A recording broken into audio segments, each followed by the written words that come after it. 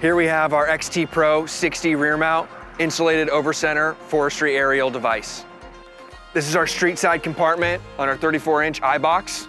The XT Pro 60 rear mount comes standard with 111 cab to axle for increased maneuverability.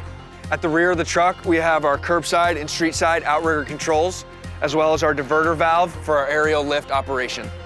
Our street side iBox features a lower separate compartment and an upper through compartment. Our 34 inch iBox comes with a secondary burglar bar locking system.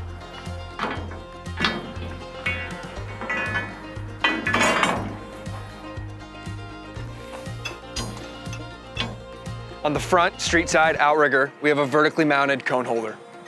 At 111 inches cab to axle, it gives you available deck space to stack 4x8 ground protection mats.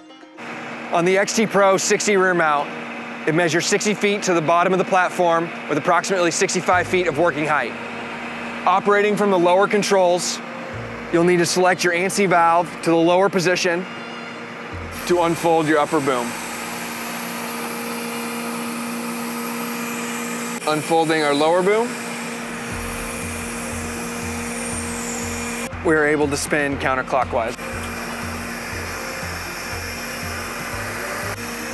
And back clockwise.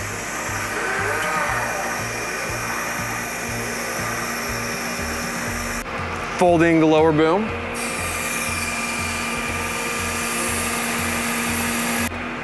And the upper boom.